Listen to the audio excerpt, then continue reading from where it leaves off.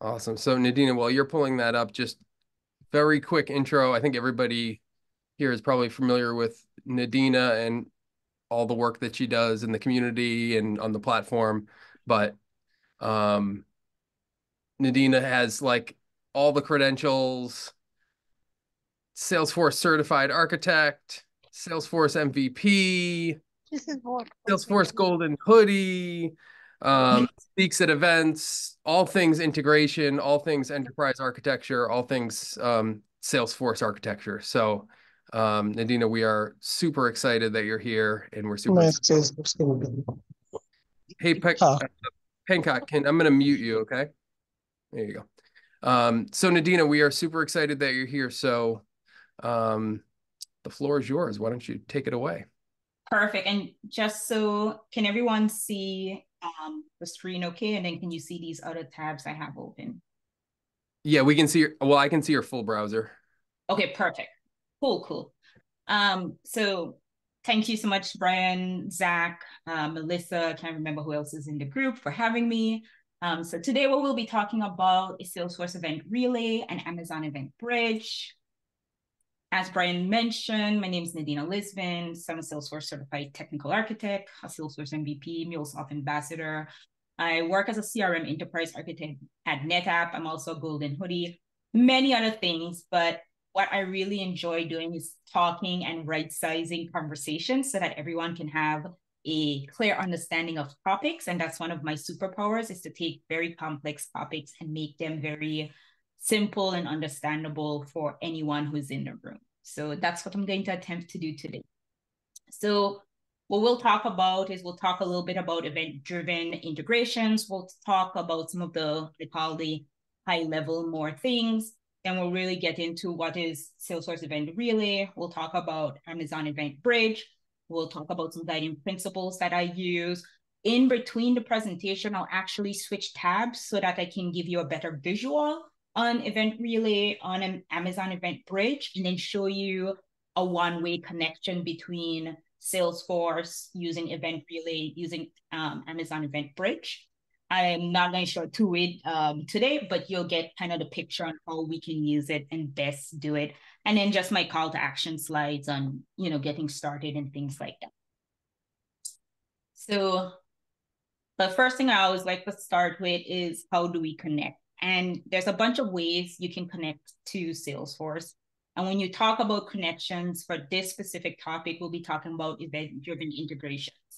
And the way I see them as flexible integration patterns that can drive real-time customer experience at scale. And because we're talking about so much technologies, I wanted to have a very broad overview of everything that we'll be talking about. So from a Salesforce perspective, we have our Salesforce platform, we have the Salesforce event bus. And in there is where the Salesforce event relay lives. And then we have our Amazon ecosystem and the event bridge. Now, when it comes to the event bridge, it acts similar to the Salesforce event bus in that it can transmit different events across those different ecosystems. So from an Amazon perspective, the event bridge works very well with your CloudWatch, your Lambda, your simple notifications, etc. And then from a Salesforce event bus perspective, it works with your standard clouds, sales, service, commerce. And then you have some other different um, different um, things on there as well. So like MuleSoft to connect to your external systems. You have your marketing system like Marketing Cloud, also reporting from Tableau. And then you have your other platform tools that you can use. And so when I talk about Salesforce Event Relay, why do we care about it from using Stuart's words? Event Relay, and how I like to look at it, is the connectivity tissue between Salesforce Event Bus and then your AWS systems. So really what Event Relay's strength is around sending your platform events, your change data capture events between Salesforce and Amazon. So it acts as that connectivity tissue. Why we care about this is that prior to Event Relay being there, there were a couple of other products that you could use. So Amazon actually had Amazon AppFlow that you could send information from an Amazon side. And then from a Salesforce side, there wasn't really a good way to do it unless you built a custom integration.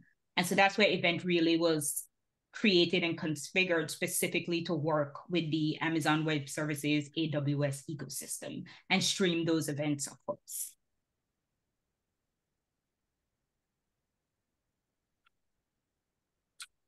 So some of the key features when it comes to Event Relay, um, and I took this directly from the documentation. So it's a lot of words, but listen to my voice. Don't necessarily read all the topic. You can look at this after you have it. Is it helps with a bi-directional flow. So between Salesforce and AWS, packs and events back and forth. I like to say it plays a really good game of telephone where you have a sender and a receiver.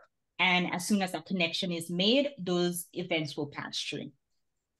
It also is really good for processing your Salesforce events um, in AWS. So once that event has been um, sent via Event Relay and is in the AWS ecosystem, typically from an integration perspective, especially if you're working maybe as Salesforce yep. developer, you might not necessarily want to concern yourself with what is happening on the AWS AWS side. And so it helps to obfuscate or not have to think about what the AWS side is doing because it's a standard way and a standard protocol in how to do it. And AWS can also connect with other SaaS integrations, but again, we're talking about Salesforce and AWS. And then the other thing that we can do is we can bring events back from AWS to Salesforce. So really making that direct connection with your Salesforce platform and your Salesforce event. I'm going to take a pause. Did I lose anybody so far?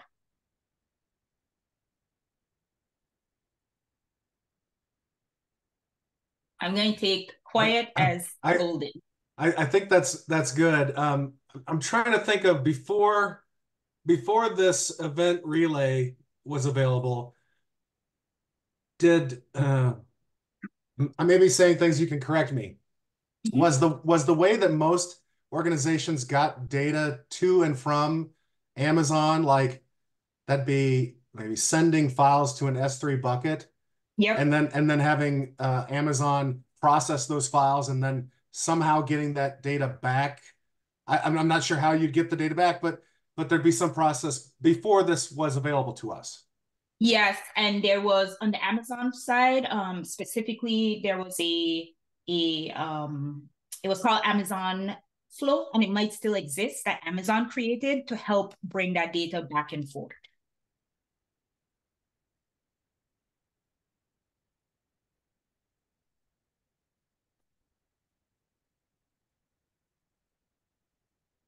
So when we're dealing with event relays, there's a couple of things that we have to keep top of mind. And I'll show you how to set up the whole event relay in a second. But this isn't all of them that we can think about, but I think these are the most relevant ones when it comes to this group and what we're thinking about. So when you're deleting an event relay, um, when you delete the event relay, the corresponding Amazon event bridge is deleted and event bus that is associated with that partner event source is not affected. So for right now, just think about the event bridge and event relay kind of as a one-to-one. They're paired and tied together. And once one once that event relay is deleted, that bridge will be deleted. But the partner event source actually stays there um, and it's not affected.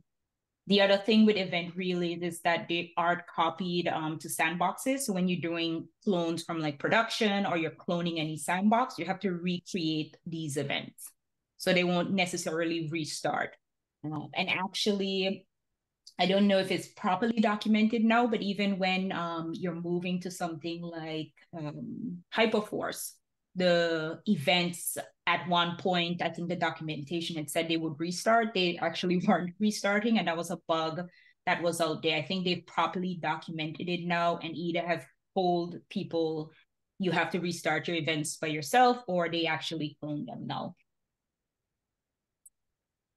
Another thing to keep top of mind is packaging when it comes to event relays. So because the event relays don't support namespaces, so the things like the event channel and its members and the name credentials, so you can't really package them.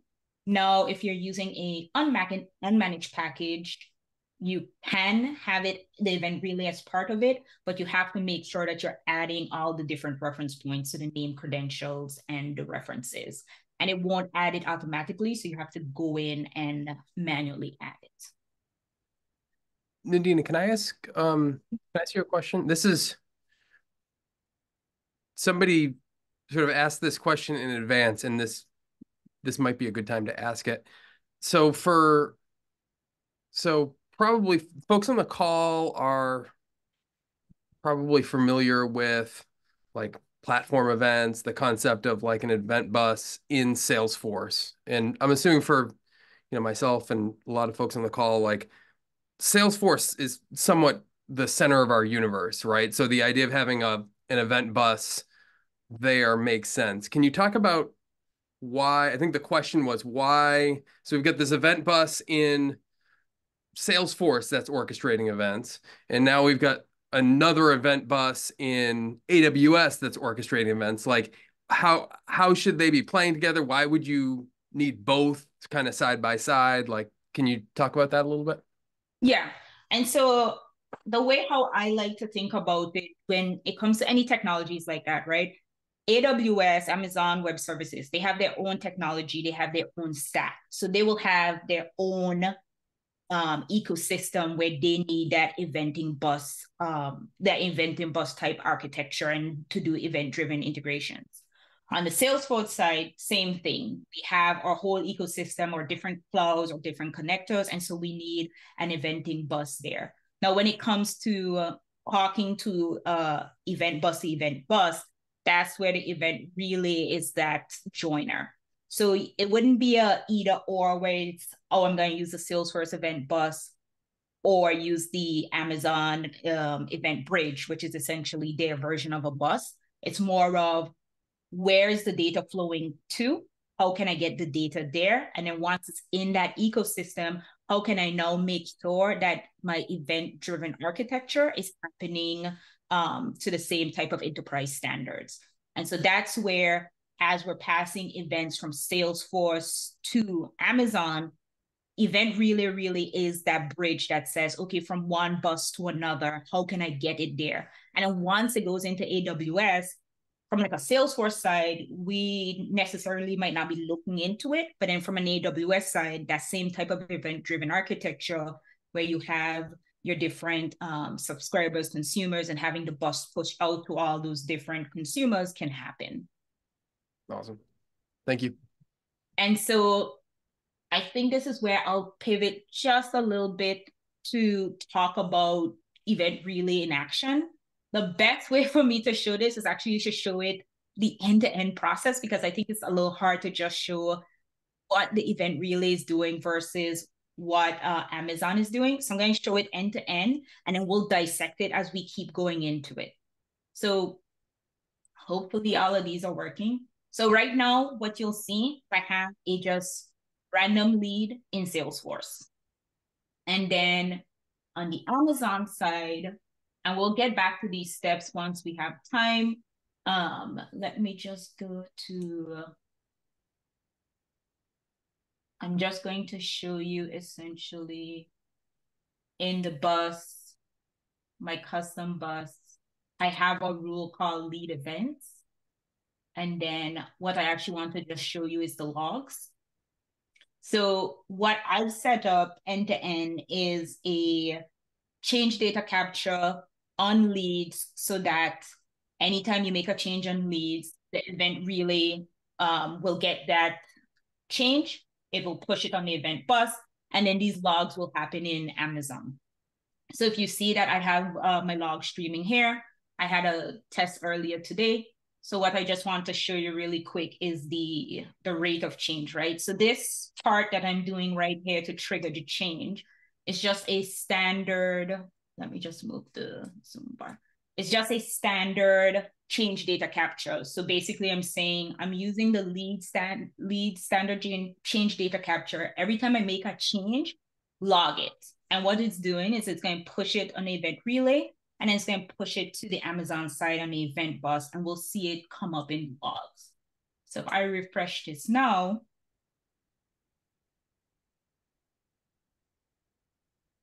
oh, sorry, wrong one. If I refresh the logs that I have here, we should see another entry. And sometimes it takes a little bit watching these logs. It's not the funnest thing to watch. Mm-hmm. But yeah, you'll see that I have another update here. And then what we're really seeing on the AWS side is the entire payload for what has changed. And then it will tell me what the change type was, which was an update in this case, what was modified. So the phone field, of course, the last modified is going to be in there as well, because from a Salesforce perspective, that field always updates anytime you make a change. And then it has some other transactional information in it. So end to end, that was just me using the Salesforce technology and the Amazon technology and pushing data from Salesforce to Amazon. Now, when it comes to setting up the event relay, these steps are a, I like to call them a one-time step, but they're very critical that you set them up in a very specific order because sometimes there's a little bit of confusion that can happen. So how I typically set it up, and it's a one-time step. So once you set it up, it's set up, is that I I usually will do it directly from Postman. And so what I did was I cloned the Salesforce developer repo and I actually just created some endpoints to do it. Now, some of it you can configure in Salesforce, which I will show you. And some of it you have to do it, um, you have to do it either within the UI or within Postman directly. So it doesn't allow you to do that. So when it comes to setting up the event relay, a couple things you have to think about. Are you going to do custom events? Are you going to use a standard event? In my case, I did a standard event. When it comes to actually creating the event, I can create the events now in Salesforce. Um, that was not the case before. You had to do it all through Postman. But if you go to setup and you go to event relay, you will see a you will see my one event that I have set up right now. And there's a couple things that it requires, which is, you know, it has like a label, it has a state of run, it has some ever error recovery options. So in case something happens or it skips. And then also, I'll just cancel that. It requires like a name credential to be set up as well. So you can see which partner event sources here, um, what channel I have, my very unique name credential that I've created, and then I don't have any error recovery options. So if you're setting up the event relay, one of the first things you'd want to do is do your name credential. You can do that via just going to name credentials under security, and you have to create a legacy one. And the way how to set it up is that you have to know your AWS, what region, and then your account number. So on the AWS side, if you can see, I'm in US East 1, and then my account ID is this, and that is how you would set up that name credential as legacy. So I can edit that just to show you. And so once all of that is set up, identity type is name principal, no authentication, and then just a generalized header. Once you have that set up under the event relay, you can go through a WYSIWYG type um, style and say, I'm doing a new event relay. Then it will ask where's what name credential. So that's why that has to already be pre-set up. Then you would tell it what channel. So is it for change events or if it's for custom? So mine was for change events. And then this is where it was asking about error recovery. Mine's not checked because I did mine via Postman in the API. And so unless I specifically specify it uh, when I send the body, which I did not, I didn't have to check it, but you can decide how you want error recovery to happen and that will set up the event relay. The other piece about now setting up the event relay is the channel and the channel members. So you can have one channel with multiple channel members. That part is not a setup that you can do in the UI. That's a part you actually have to do via um, any REST tool. I typically use Postman. So I'm just going to show that really quick. If you can see, and let me just spin. So if you can see here for the um, let's see. Yeah. So if you can see here, I have one endpoint from my platform event channel. I specify it as data. So it's change data capture. I give it a name. I hit that endpoint, it will create it. And then specifically for my channel member, I am doing it on the lead change event. So if I wanted to do another out of box one, I could do account and I can have multiple channel members as part of one channel. Again, hit that endpoint and that would create it. And then for my event relay specifically, this is how I create the event relay from Postman, but I showed you just now how to do it from the UI. And the last thing would actually be to start uh, the event relay. So, so Nadine, oh, go oh, ahead. No, I was just going to ask you. So everything, all those um, post methods that you're doing, those are those are just you're just configuring this event relay piece. Like like you said, once once you've done these these four post calls, it's configured and it's ready to use, or however many Right. Once once that's done, once everything has been started, the event relay part is done. Right. The next part is now you'd have to configure the Amazon Event Bridge um, items.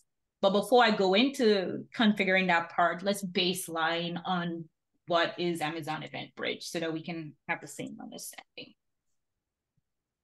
So when it comes to Amazon Event Bridge, like I was talking about before, it's very similar to the Salesforce Event Bus. Very same, very similar architecture. It's serverless and it's meant for scalable um, event-driven applications. The way how I see it is Amazon Event Bridge is the equivalent of the Salesforce Event Bus just on the Amazon side. The biggest thing about the event bridge is that it has two processes. So the event bus, which we typically do a lot of talking about, but then there's also something called pipes. So if you see from this picture here, this one really more focuses on here's our event bus, here's our different events. We can create rules. And then these targets are meant to be any targets that we have either within the Amazon ecosystem or um, any other SaaS application it might be connected to. Now, when I talk about the event buses, they're more like routers that receive events and deliver them, and they can have zero or more targets. Whereas when we get to the pipes, they're very streamlined one to one.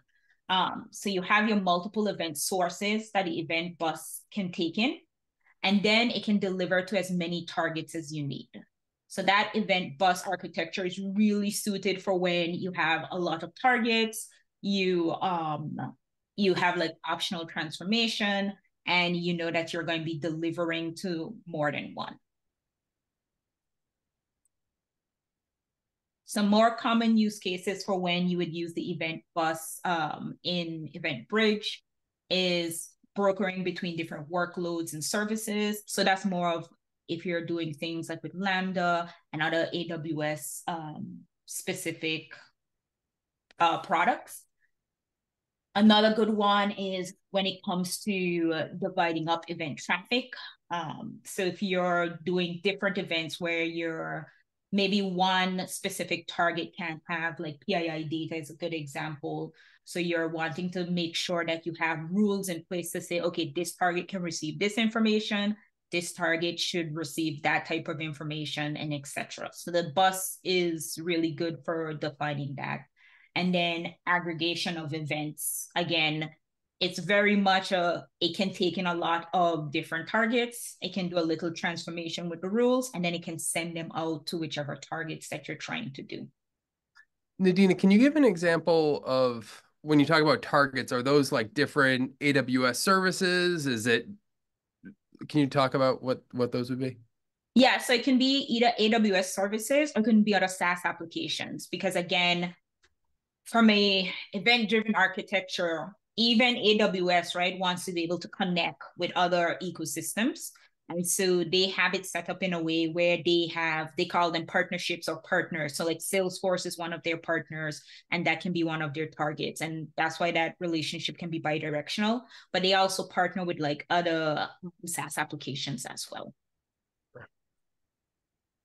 So this could be like what in in theory, this you could be using AWS and EventBridge as like your your middleware between Salesforce and another enterprise app. Yeah, so from like your event driven architecture, you could um, do that. Again, um, I think like when you're thinking about that high level enterprise landscape and you're looking at what's the tool to do what, it really comes back down now to capabilities, what you're trying to achieve, making sure that you're not um, duplicating efforts or duplicating data across the ecosystem. And so that's the kind of consideration you would have. Where if, okay, I have Amazon Event Bridge, I have Salesforce Event Bus, I might have Kafka running around for messaging, right? Who should connect with what will really now come down to where does that data need to go? What are the systems in play? And then sometimes it comes down to as well as familiarity. Because if you have a very strong AWS team and then you buy Salesforce, they might not know how to use the Salesforce event architecture.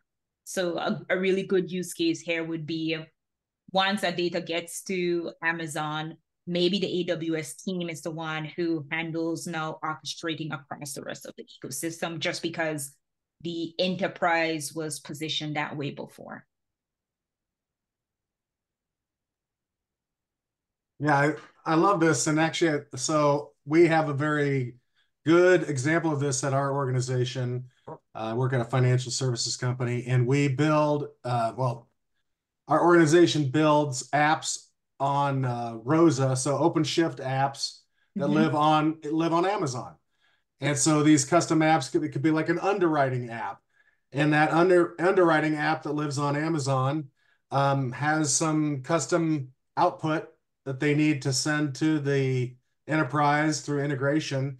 And uh, we could use this pattern to send some of that output directly to, to Salesforce. Right, exactly.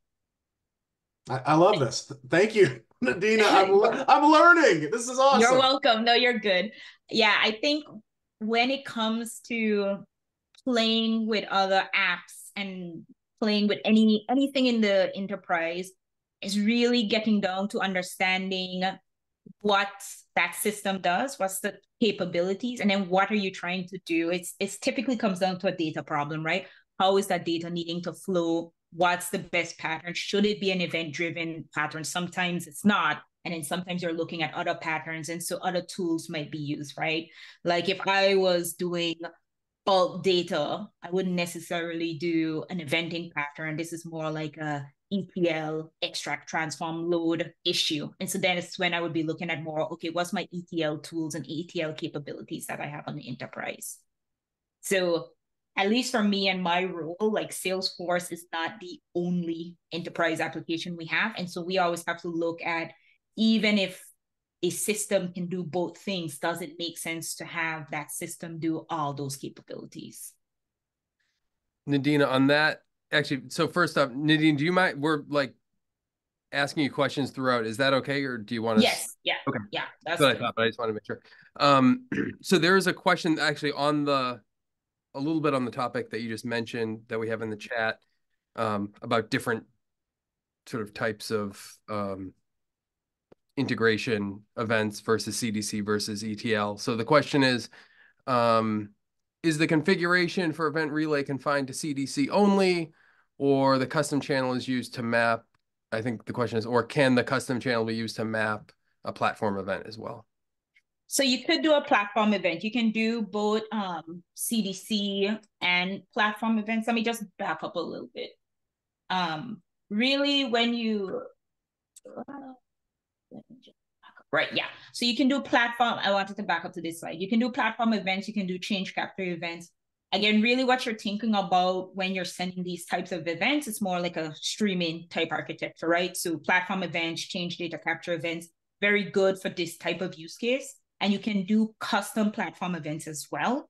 Um, some things to just keep in mind is I think the payload sizes between like Salesforce and how you're sending these things have to be small. But then from a platform event, change data capture event, they already have to be small either way. So that's where the strengths of event relay and this type of architecture, this event driven architecture works really well.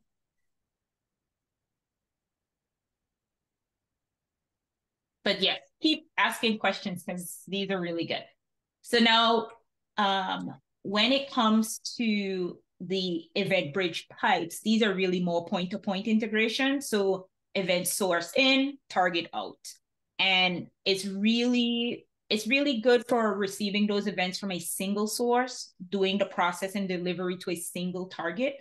Um, the thing about the event bridge pipes is that they actually support more advanced transformation. So whereas your event, um, your event bus can do a little bit of transformation, the pipes can actually do more transformation. I haven't played with the pipes too much because I haven't seen a use case where I need to do like a point to point integration, but that's something to keep in mind. And that's why I wanted to make sure that we highlighted that. So now I'm going to switch back into Amazon. And let me just start from the top because I know I showed you the end to end. Um, but when it comes to the event bridge, there's a couple of things we have to do. So the first thing when we come in is when you're first setting it up, you will have a custom bus that is created. So mine was created and you have to activate, you have to activate it. Once you've activated this bus, you'll see that there's also a default one. That default one is always there. So as you get more um, buses added from other different SaaS applications or whatever applications, they can still show up here. You can search for them. So if you see in here, I configured a rule now, when it comes to creating these rules, it's a very intricate step. So I'll take you through it. I'm not going to delete this one because sometimes I forget some of the steps. So bear with me as I'm going through it.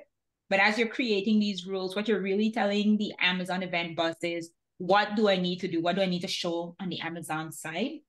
So for creating the rule, there's a rule name, there's a description, and then there's the eventing bus. I'm just going to put in anything for now because we we're not worried about that part. The event source is the important thing here. You want to make sure it says AWS events or a bridge partners. And then you want to make sure it says AWS events here. Now, I typically skip this sample JSON, but if you have a JSON that you want to put in, you can. But because Salesforce is a partner, you can go to Event Bridge Partners under the event source. And then on the partners, I just want to show you the list. So there's Adobe, there's other Amazon APIs, um, there's Auth0, Atlassian. But what we're interested in is the Salesforce. And you'll see here, okay, so that connection is still there. That's Amazon flow that I was talking about earlier, but we would stick to just the Salesforce partner. And then for the event type, um, depending on what we did or change data capture on. Mine was on lead, so I can just show you that it has all the objects because it knows about our instance since we configured the event relay and it created that partner attribute in um in Amazon for us in EventBridge.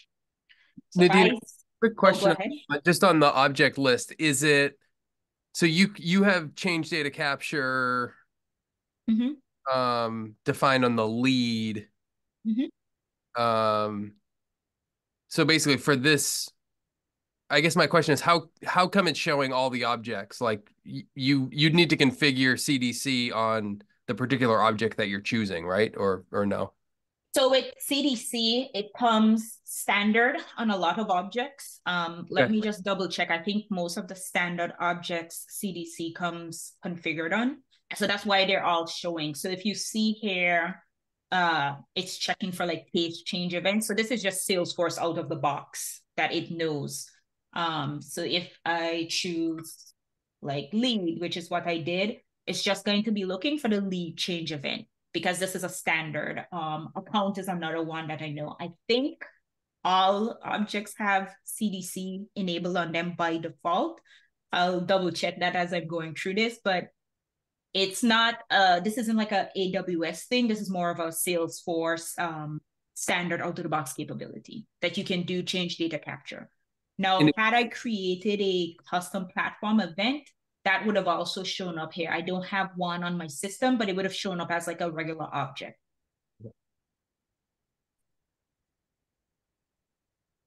And so that's why you're seeing all these um, objects because they have the ability to do change data capture on them. Now, once you have, just to stick with it, once you have that event pattern done, um, then what you want to do is you want to choose CloudWatch log group. And this is where you would create that lead event, account event, whatever the event is, so that it will log it. And then once everything is good, it's going to ask you if you want to do any tags. Then it will ask you to review everything, and then you would hit save. So I'll hit cancel. So we go back to the rules. And we can just click on our lead event. That's the, the, the one that I already have pre-configured. So here's our lead change event.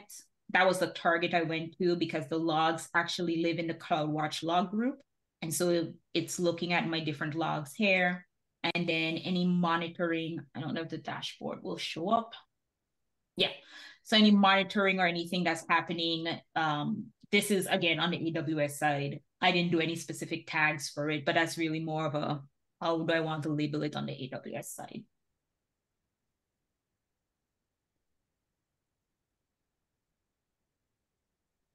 So this is where you can see, and I hit on the integration, the partner event sources. This is where you will see your event uh, bus show up and it will be in an inactive status. I thought I had one that was deactivated, but perhaps I deleted it. But you'll see essentially, here's your partner event, the source, the bus name, when I created it many months ago, um, and it just basically wants to activate that, that's how you're now associating it onto the bus. Here's my partner event. Here's how I'm building that trusted connection with Salesforce and associating it with this event bus. And then from there, really, that's the high level when it comes to setting this up, right? Once you get past the event relay part, once you've configured some rules on the event bus, you can just send information. And this is just a one way. Um, if you want to go back the other way, then you have to do some configurations on the AWS side. But this is how you would set it up from a event relay and the event bridge. And again, the event relay is like a one-time setup, but it's a little uh, tedious because you have to do so many steps to get it done. And so that's why I typically have it configured in Postman. So I can just execute all the steps at once.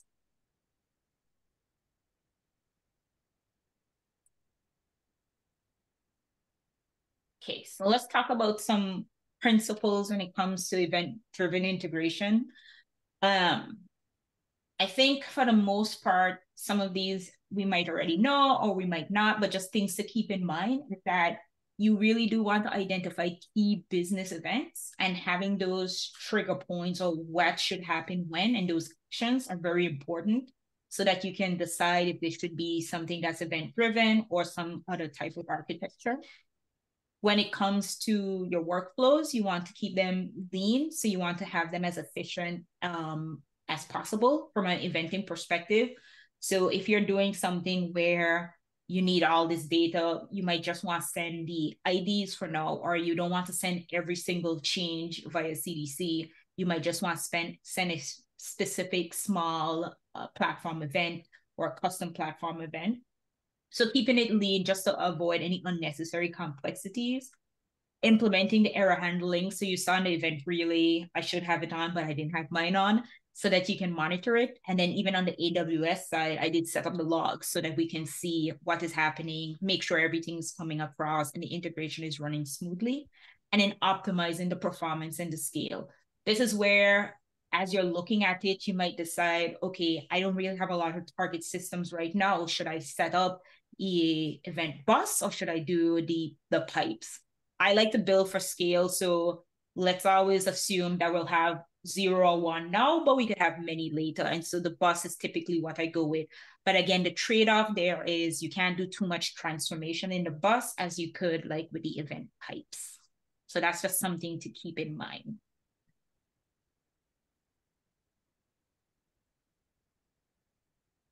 Any other questions? I think, let me see, I have one more slide. I think this is, yeah, my call to action. So this is the documentation on the event relay. I will say it's pretty robust. Um, if you have trouble setting it up the very first time, do let me know. I recorded like just a couple of videos of me setting it up so that it's more detailed and understood. Um, from an AWS perspective, there's really good documentation on how to use the bus, when to use the pipes, and the way how I got familiar with, okay, I'm not working with AWS every day. How do I get familiar with this? Is I literally just configured it and played with it. So I configured my little Amazon account, I configured my Salesforce account, and I played with, okay, what can I do CDC? Do I need to, how, how would I do platform events? And just practiced and understood how the integration works. But if we don't have any more questions, then thank you so much for having me. Um, we can talk about anything else, or we can go into more detail specifically on any one of the topics. Nadina, I put an unfair question in chat um, that I don't necessarily expect you to know the answer to, but I just, it's a thought process that was going in my head as you did this wonderful presentation. Let me try. Okay, so is the event bus concept specific to AWS or do other platforms also have event bus models, Azure, Google, etc.? Um, so I wouldn't say event bus concept specific to AWS. The way how I would say it is the eventing architecture, because many platforms will have that eventing type architecture, right? So similar to AW, like I said, AWS has the event bus and the whole event bridge type how to do many um, applications on the Salesforce side is just called the Salesforce event bus. I'm sure that the other hyperscalers like Google, Azure will have some type of eventing architecture because this is eventing and doing streaming is something a lot of the the big vendors, the big um, enterprise applications just have. It just might be called something different. Now, do I know what they're called? I do not. Um, but I'm sure a quick Google of what is similar to Amazon Event Bridge in like Azure or Google will probably come up. Thank you. You're welcome. Nadina, I've got um, a question for you in turn. This came up in another session. Um, mm -hmm applicable here. Is there anything? Is there like when when you were going through your your presentation, I was thinking about scenarios where it's like kind of like the example you provided. A lead is updated, you know, and it's and in that sort of the it's it's a it's a relatively sort of lower manageable volume of changes. Is there anything that folks should keep in mind where this doesn't scale to like a higher volume of changes that are happening? So I would say the biggest thing to keep in mind, um, I'm always concerned with whenever you're doing any type of streaming, the payload side has to be pretty small because again, streaming, it's requiring that small payload. And actually, let me look that up because that was something I don't know if I have it correct that on the Salesforce side, it's like one KB, and then on the AWS side is different. So let me just look that up right quick so that I can give you the right number. But the the size of what you're trying to do needs to be small. And then with anything where you're trying to design the integration, this one is very much more here's the event, here's how it's driven make sure that it's the right application to do event driven architecture because sometimes that might not be the case, right? You might just be trying to, hey, I saw this cool thing, I'm trying to use it, and it's really not a good use case for it. Let me. I was trying to find what the actual size needs to be, but I don't see it. Okay, well, I'll get back to that as I'm looking at it. But yeah, the the size of it and the size of the events um, to possibly be a thing. And then on the Salesforce side, right, you have to think about your limits. So like it's going to use the, if you're using platform events, it's going to use that allotment of limits. So keeping those in mind when you're starting to send these types of events, these types of changes as well. Um, and Stuart has a follow up. Um, seeing that organizations, I'll just read it. I see organizations that put everything in their streaming events. It feels like overkill. Would best practice be to just put in the data that that you need to complete the action? For simplicity. Yeah, that that's an interesting one because I think, you know, it's one of those.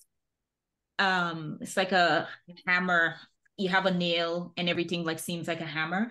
Um, I would say streaming events when it comes to streaming anything it should be light it should be simple. I think where there's always a lot of confusion is like do you actually need the whole record or do you just need some of the changes? And then from there what is the action that you need to happen after those changes? So what's like the end-to-end data flow? Because sometimes i might not need a event type bridge architecture, I might need to use something like an enterprise service bus because I need not only to get the data to me to do transformations, I also needed to do listening um, and then sending data back and forth. So I wouldn't put everything in the streaming events. I would try to keep it as simple as possible. In any model that you're using, think about all the different types of integration patterns and one of the things I've learned working like with enterprise customers is when you work on an enterprise, even though the change might seem small, it takes a long time to undo. So you just want to make sure you're building for that lasting ability. So if today you think, yeah, I can just put all the streaming events in one and we'll fix it later, the later never comes. So just try to design it from the get go while you have that initial architecture. Awesome. Uh, before we before we wrap, any other any other folks have questions?